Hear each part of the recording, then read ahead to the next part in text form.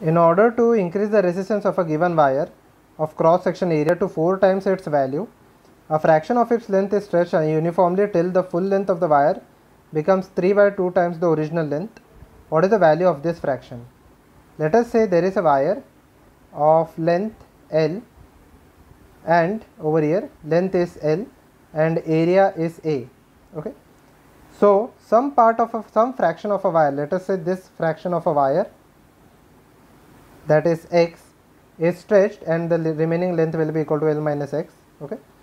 This is stretched until the entire length of the wire becomes the entire length of the wire becomes uh, 3 by 2 times its original length. Okay. The entire length of the wire over here becomes 3 by 2 times the original length. The left hand section of the wire will remain of the same length L minus x and the right hand section will have a length the right hand section will have a length 3 by 2L minus L minus x okay which will be equal to which will be equal to L by 2 plus x okay. So it will be equal to L by 2 plus x. This is the length of the wire on the right hand side. This is the length of the wire on the right hand side. So I can say that I can say that the area of the wire L1 A1 will be equal to L2 A2 the original length of the wire is x and the original area of the wire was A okay of the right hand section of the wire. The length after after this part after stretching it will be equal to L by 2 plus x into A2 A2 I do not know the value. So A2 will be equal to x into A divided by L by 2 plus x.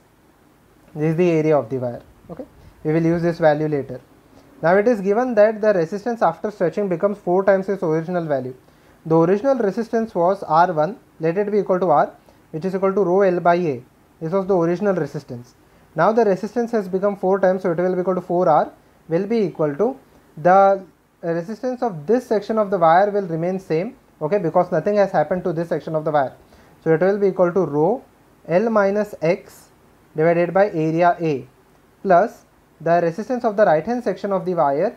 The resistance of the right hand section of the wire is equal to rho, rho L by 2 plus X divided by area area is A into X divided by L by 2 plus X. Okay? So let this be equation number 1 and let this be equation number 2 I will divide both of them I will divide both of them. I will get the ratio of 4 is equal to rho by a will get cancelled out. If I take common it will be equal to L minus x plus over here it will be equal to L by 2 plus x will go in the numerator. So it will be equal to L by 2 plus x the whole square divided by x divided by L. Okay? I want the ratio of I want the ratio of L by x over here.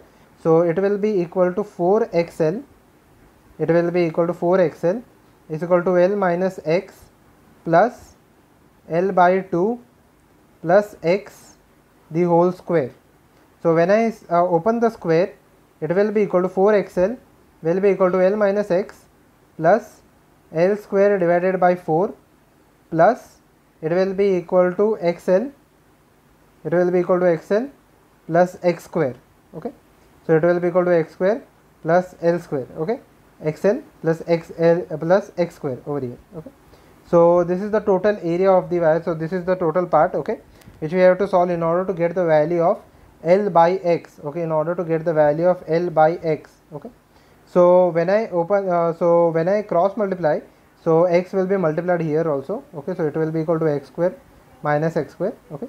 So from this part x square and plus x square minus x square will get cancelled out okay plus x square minus x square will get cancelled out okay it will be equal to it will be equal to L square divided by 4 it will be equal to L square divided by 4 will be equal to L square divided by 4 when this shifts on the right and left hand side it will be equal to 2xl. So we have to find out the ratio of x is to L. So x is to L. So over here L and L square will get cancelled out. x is to L will be equal to 1 by 8. Okay, x by L is equal to 1 by 8. So over here uh, it will be equal to 1 by 8. So the fraction of the wire that is stretched will be equal to the original length will be equal to over here it will be equal to x by L is equal to 1 by 8 which is equal to option number B.